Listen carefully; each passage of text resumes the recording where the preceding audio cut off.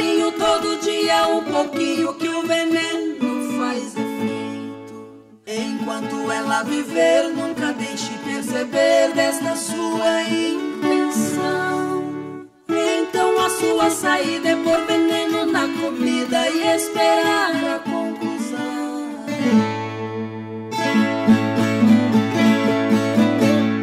Carinho que a Nora deu, sua sogra um jeito diferente. E mudou sua atitude, começou a ter mais saúde em vez de ficar doente.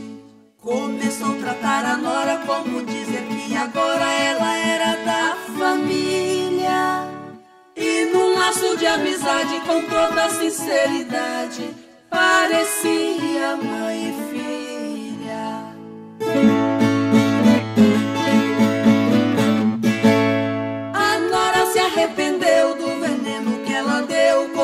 Doutor foi falar. Joguei fora aquela droga pra salvar a minha sogra, um remédio eu vou comprar. Mas o doutor respondeu, atendi o pedido seu, seguindo minha doutrina. Para ver você feliz, a receita então eu fiz, mas foi só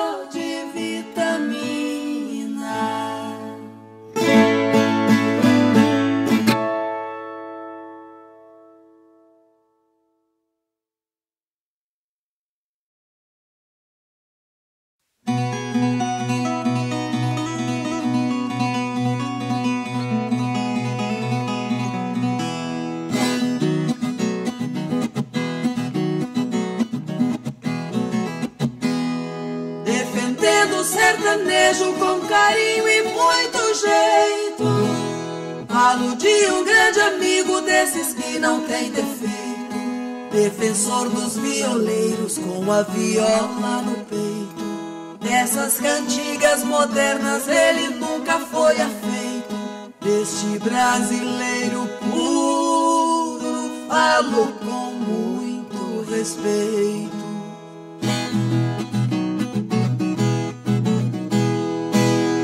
Certa vez em IEP, numa festa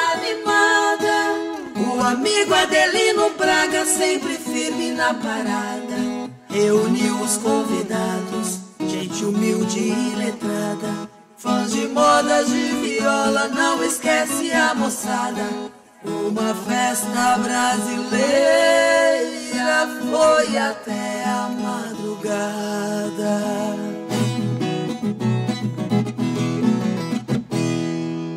Amigo Adelino Braga, um caboclo arrojado, já morou em fazenda, foi peão considerado. Já rodou o Brasil inteiro, caminhoneiro afamado. Em São Paulo foi guarda civil, hoje é um militar graduado. Voltou para IEP, onde foi nascido e criado.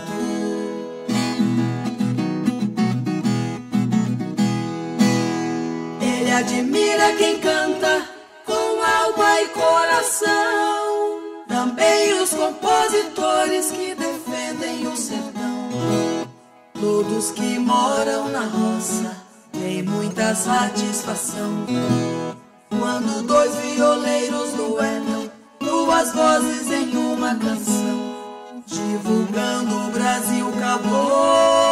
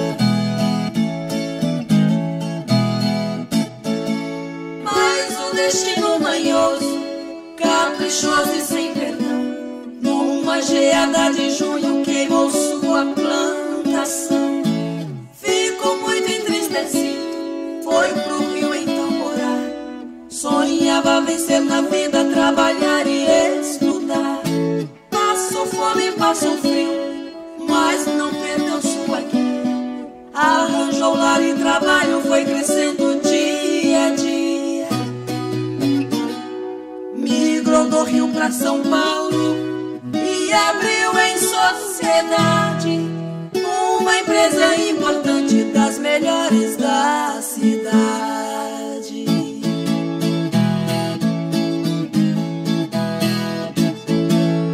E depois de alguns anos, comprou uma parte do sócio. Empresário arrojado para aumentar seus negócios. Sua empresa cresceu tanto, com filiais no estrangeiro. Mas nada depois no pasto por este Brasil inteiro. Casou com Maria Helena, com quem enfrentou na infância. Moça linda e honesta desde o tempo de criança. Mas sua grande riqueza, de valor mais estimado, é o seu casal de filhos, Jaqueline e.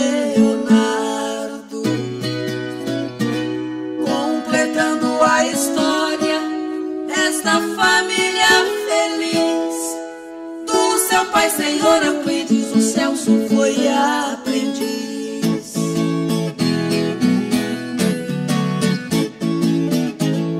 Vive em tranquila harmonia com todos os seus afins. Hoje trabalha e investe nas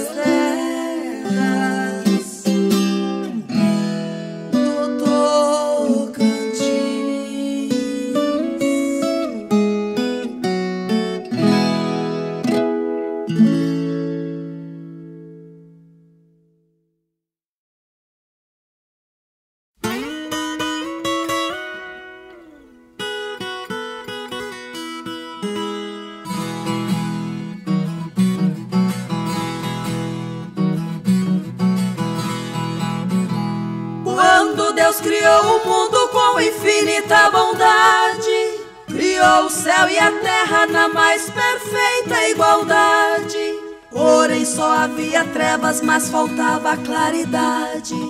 Fez o sol que é a luz do dia e a lua eterna magia, clareando as noites que invade.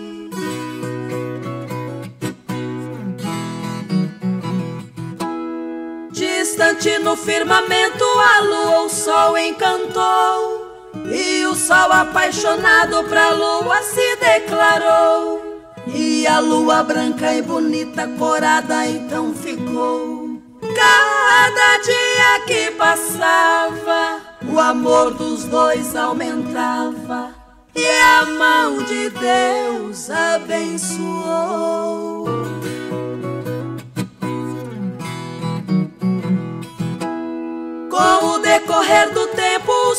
Foi entristecendo. Quando a lua saía, ele ia se escondendo. Pois só se viam de longe quando o dia ia morrendo. Os dois estavam jurados viver sempre separados e de amor padecendo.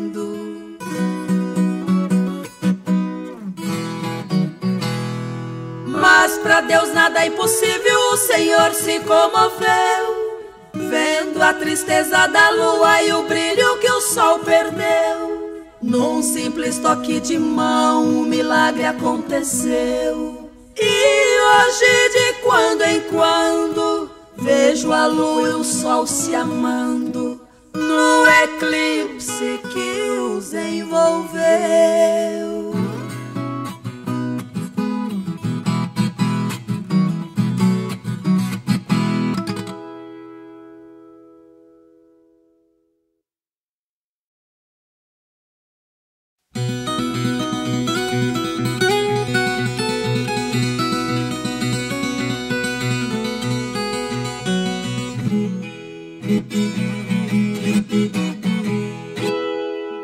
Noite, mês e ano na solidão da estrada. Entre chuva e sol ardente, neblina pós-geada Seguia um caminhoneiro em sua dura jornada. Com suor e muita luta, não deixava faltar nada. Pra sua filha querida e sua mulher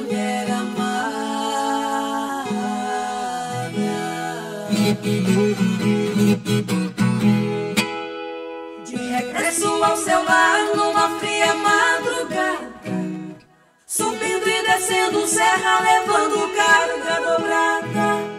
A saudade no seu peito era a carga mais pesada. O sono lhe golpeava, mas não quis fazer parada. Para rever mais depressa sua família adorada.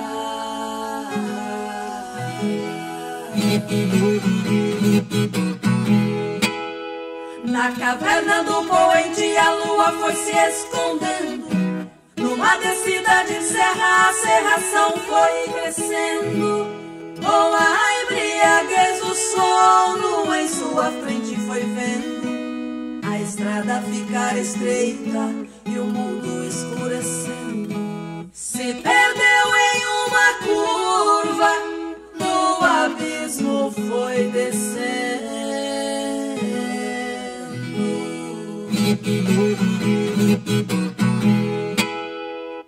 sol avermelhado foi surgindo no nascente, a cortina de fumaça foi se abrindo lentamente, mostrando uma cena triste de um drama comovente. Esse herói é meu pai e descanse eternamente. Veja em cada irmão da estrada a sua imagem presente.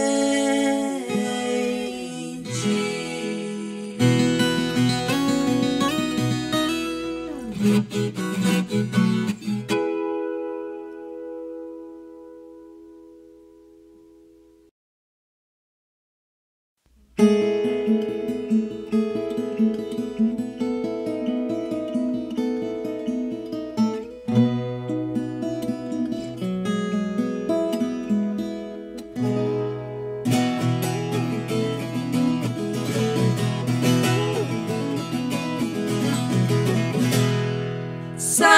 com destino à França, do Porto Paranaguá. Um navio primeira classe de luxo particular. Era mesmo um paraíso, flutuando sobre o mar, levando gente da elite a Paris pra passear, pra contar a história exata, a ordem dos magnatas. Preto não podia entrar.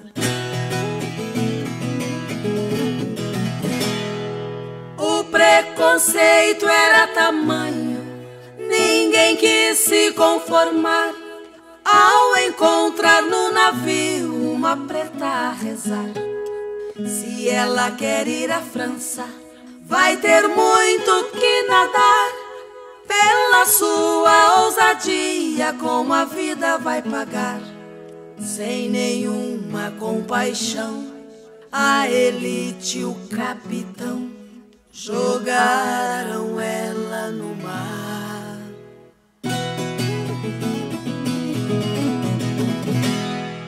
Mas a justiça divina também faz seu julgamento.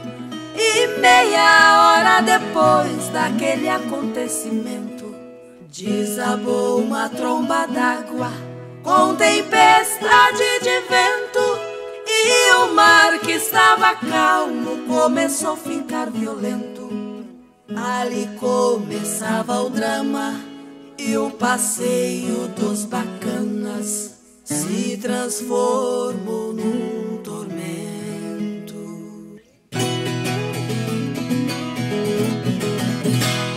A tempestade era forte, parecia um furacão. Todos gritavam socorro, implorando salvação. De repente, uma luz apareceu na escuridão e o navio seguiu a luz sem nenhuma explicação. Numa ilha abandonada, o navio fez a parada, salvando a embarcação.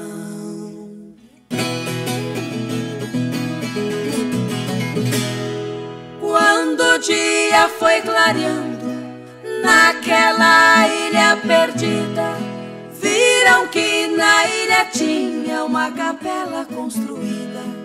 Lá foram todos rezar pela graça recebida. Quando entraram na capela sob uma luz colorida, no altar toda molhada, tava a imagem sagrada da Senhora Aparecida.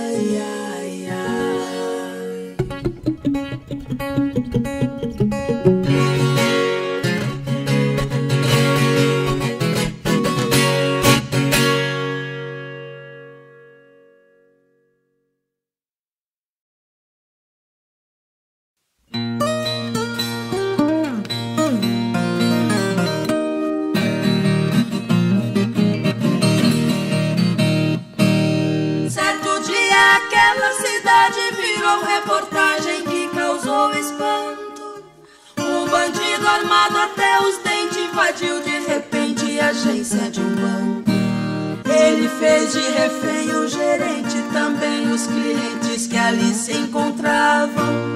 Mandou que todos se deitassem, se alguém contrariasse, deitava na bala. A polícia então foi acionada para essa jornada muito perigosa. O comandante era um jovem tenente durão e valente de pouca prosa. O tenente reuniu os seus homens e junto com eles uma policial. Pra essa atiradora de elite o erro não existe, o disparo é fatal. De imediato o banco foi cercado e todos os soldados já de prontidão ordenou que ela posicionasse e só atirasse com precisão. Enquanto o bandido agitava, ela posicionava com tranquilidade. Com a arma firme na mão, atirar é questão de necessidade. Do lado de fora do banco, muita gente em pranto com a situação. Enquanto o tempo passava, a coisa complicava, aumentando a tensão. Um disparo e um grito se ouviu, o assaltante caiu sem vida no chão. Repente, uma correria, os reféns saíram em meio à confusão. O tenente parabenizou a policial, apertando sua mão. Foi alívio pra cidade inteira e o bandido topeira acabou no caixão. Os reféns saíram ilesos, tremendo de medo, porém todos salvos. Tenente disse à policial: o tiro foi fatal, bem no meio do alvo. Ela disse: Eu dispenso elogios, com um sorriso frio e tristeza no olhar.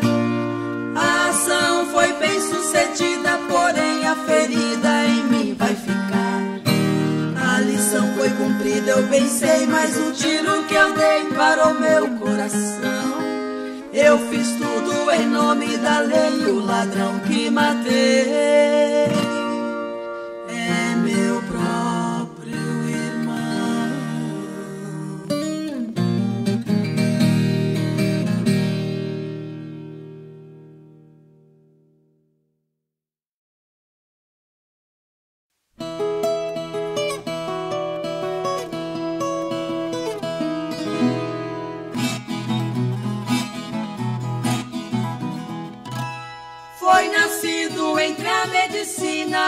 nome famoso de Doutor Clemente. Operando já tinha salvado uma infinidade de pacientes. Chegou a ficar convencido ter ultrapassado Deus onipotente. Recebia bastante elogios que eram prestados pelos seus clientes apertava o diploma no peito dizia desse jeito: Eu garanto vida com esta patente. A sua maior fortuna, considerada que tinha em mãos, era uma filha somente. Ela era as cordas do seu coração. Mas por ele sendo examinada, foi quando encontrou uma estranha lesão. Apesar da moléstia incurável, podia tentar por uma operação, prevenindo a sua família. Dizia que a filha marcava a derrota na sua profissão.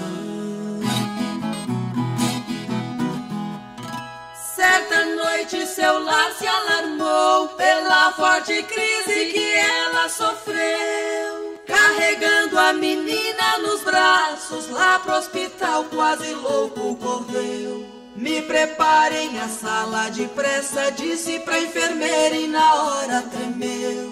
Muito embora eu não tenha esperança, mas devo cumprir com o dever meu.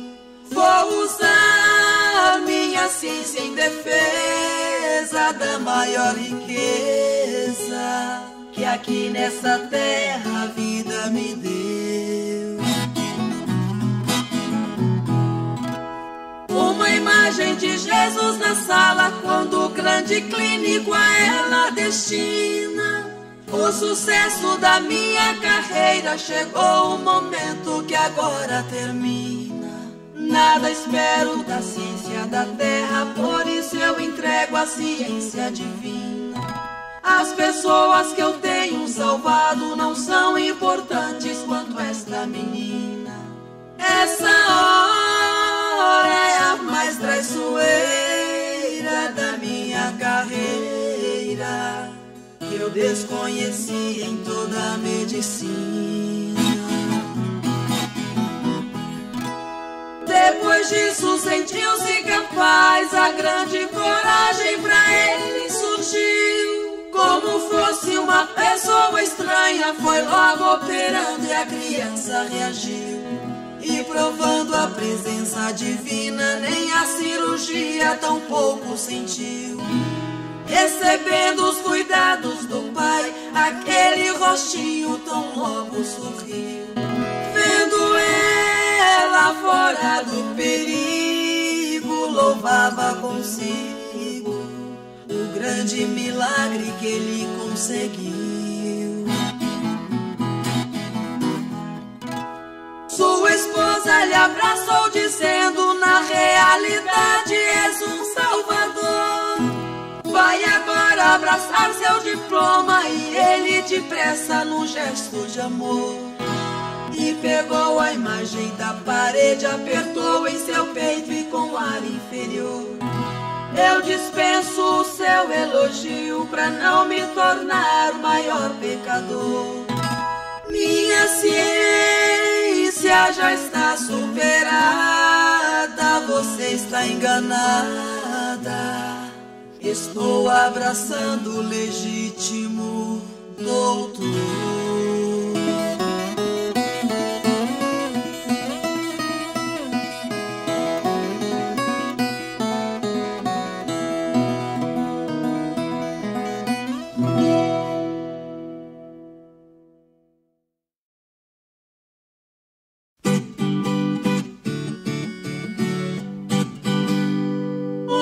De namorados, Aguinaldo e Leonor se amavam com ternura como a pureza da flor.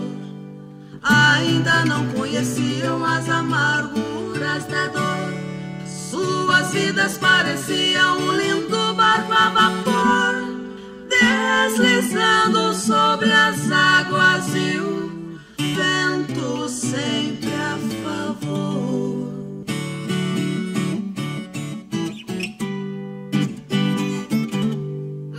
Mas um dia os olhos dela não tinham o mesmo fulgor, porque em seu coração veio acender outro amor. Leonor casou-se com Pedro e num golpe traidor. O Pedro perdeu as vistas, assim lhe disse o doutor. Só um transplante o salvaria, mas faltava o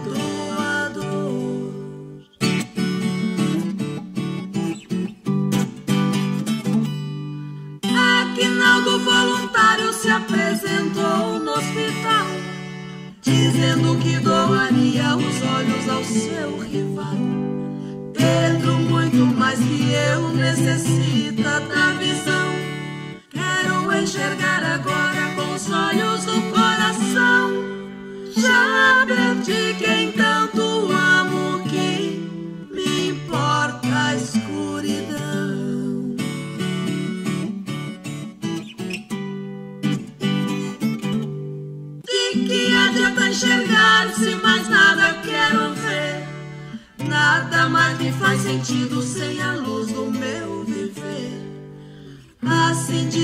o meu mundo escureceu.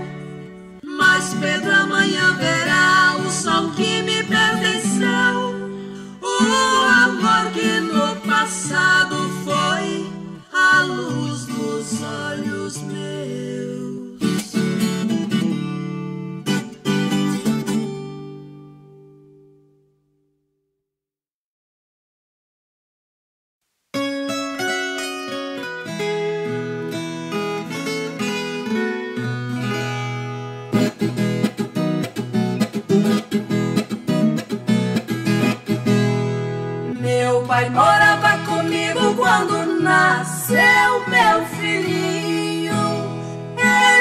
ficou tão contente por ter aquele netinho. Foi ele que ensinou a dar o primeiro passinho. O menino foi crescendo com tanto amor no velhinho que somente ele dormia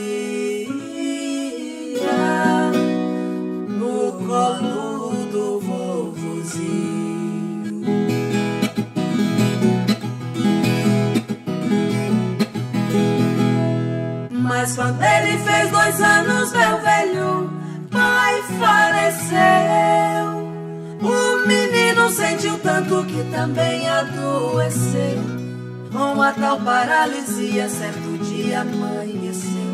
Não podia mais andar, coitadinho, enfraqueceu.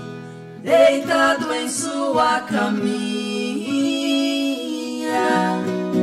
chamava pelo você.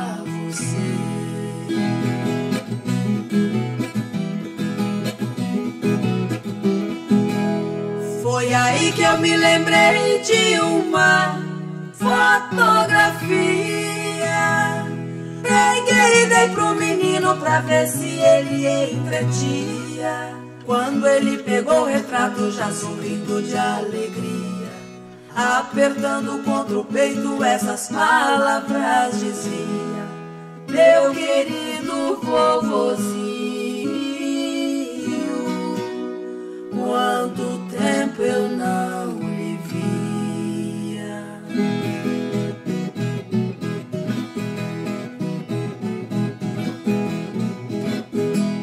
Com toda a sua inocência falava pro retratinho. Volte pra mim outra vez, meu querido vovozinho. Desde que o senhor foi embora, eu fiquei aleijadinho. É grande o meu sofrimento, eu não sei andar sozinho. Volte de novo comigo pra guiar os meus passinhos.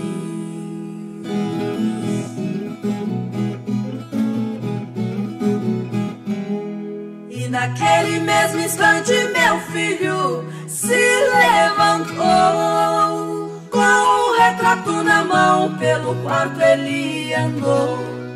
Naquela fotografia, duas lágrimas brotou. Ainda depois de morto, meu querido pai chorou. Mas graças a um milagre, o meu filhinho sarou.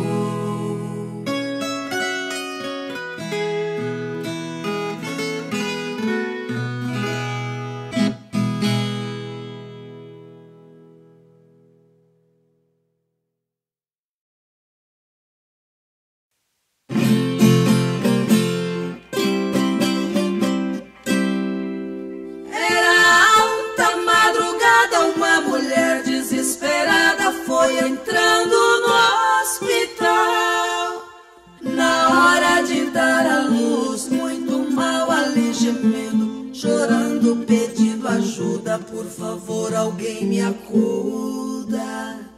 A criança está nascendo.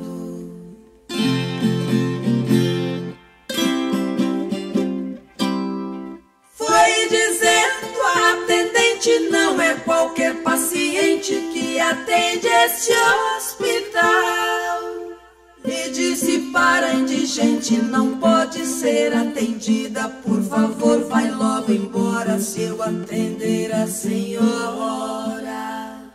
eu posso ser despedida.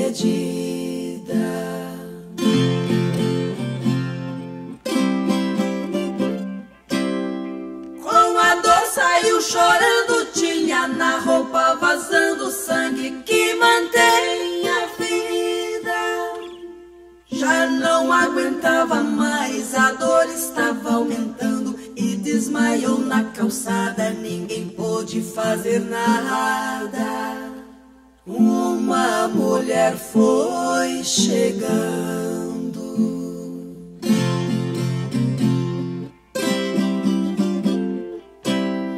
Num instante, de repente, ela parou em sua frente vinha atender a senhora. Foi pegando a criança, ela sentindo Deus presente e chorava de alegria enquanto ao mundo trazia aquele filho inocente.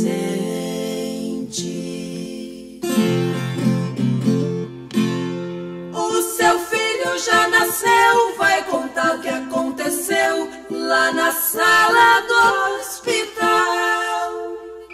Ela foi, viu um retrato, essa mulher me socorreu. Disseram está enganada porque a doutora Esmeralda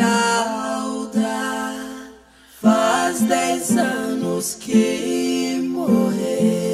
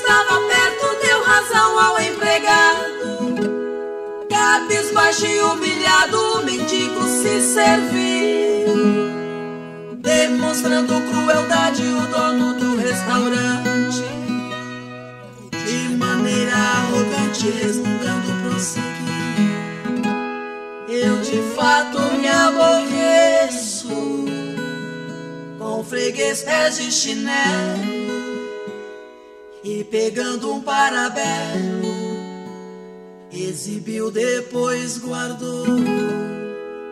E o rapaz de olhar manso nada disse, mas sentiu outra dose ele pediu. Mas primeiro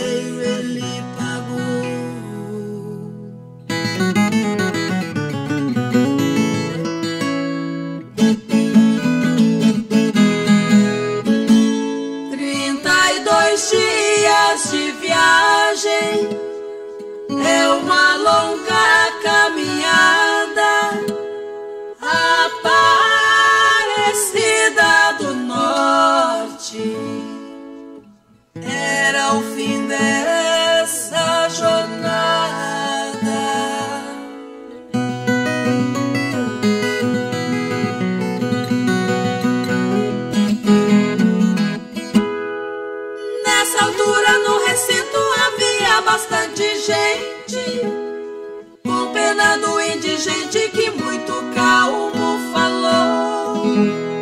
Se eu estou sujo e rasgado é de tanto caminhar, pois eu preciso pagar alguém que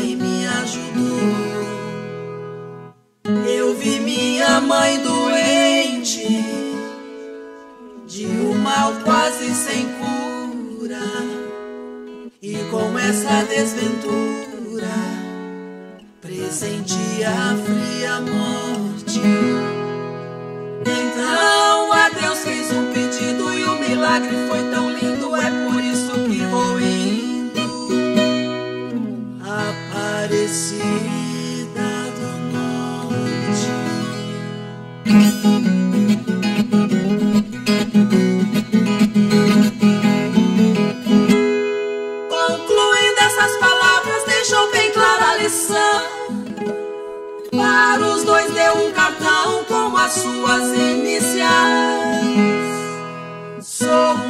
criador de gado, raça holandesa. Além de outras riquezas que tenho em Minas Gerais. Pelo meu tipo de andante, eu aqui fui maltratado.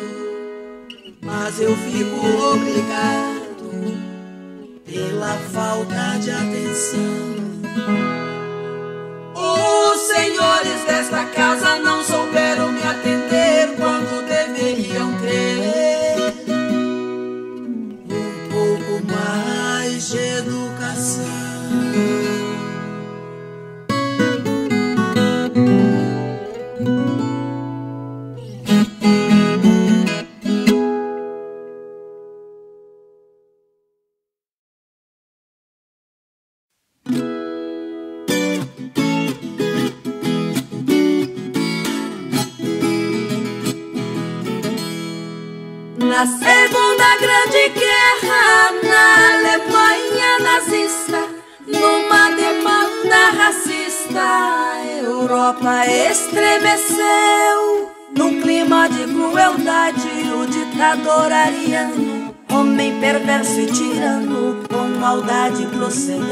Nessa batalha sem trégua por causa do fanatismo. Até mesmo o cristianismo um mau pedaço sofreu. A crueldade foi tanta, quem louvasse a Jesus Cristo era caçado e mal visto, pois o Cristo era judeu.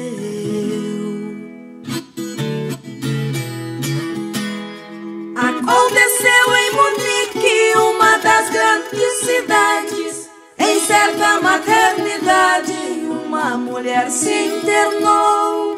E quando se preparava para o trabalho de parto, numa parede do quarto, um quadro ela notou.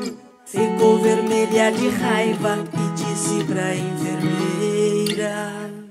Dirija essa tranqueira, você não sabe quem sou. Estamos na Alemanha e você bem sabe disto. Não quero a imagem de Cristo neste quarto onde estou.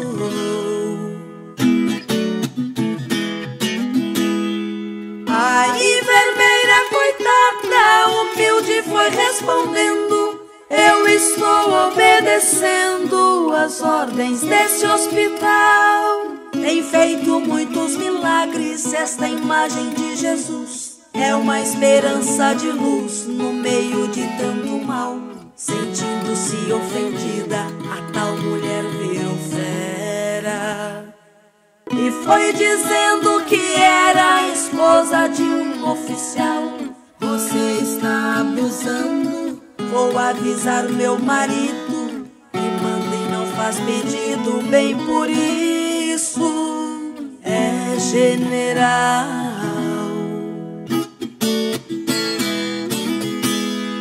A mulher teve a criança e não passou muito tempo.